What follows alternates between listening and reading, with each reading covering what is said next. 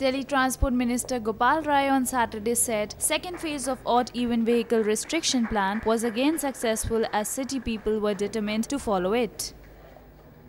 आज आखिरी दिन है लेकिन किसी के मन में ये नहीं है कि चलो आज तो आखिरी है आज तो अपनी मन की कर लेते हैं आज भी सड़क पे लोग ऑड इवेंट को फॉलो कर रहे हैं ये क्या कहता है ये इस बात को कहता है कि अगर ज़िम्मेदारी के साथ पब्लिक को लेकर के अगर किसी भी अभियान को चलाया जाए तो वो सफल हो सकता है।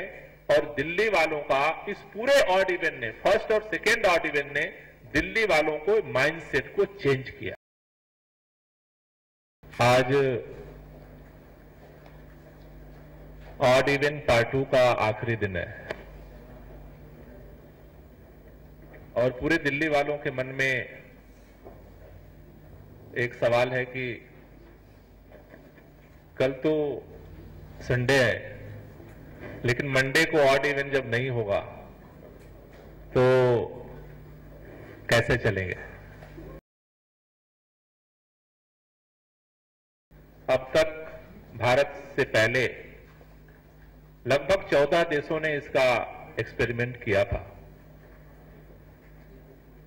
जिसमें पेरिस के एक दिन के एक्सपेरिमेंट से लेकर के बीजिंग के पंद्रह दिन के एक्सपेरिमेंट तक दोनों शामिल रहे। लेकिन किसी भी देश में और शहर में ऑड इवेंट को दोबारा लागू करने की हिम्मत नहीं हुई।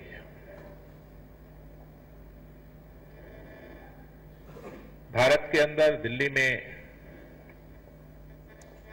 इस बार जो ऑर्डिनेंस आया, वो हम लोगों ने सरकार की तरफ़ से फैसला हमने नहीं किया।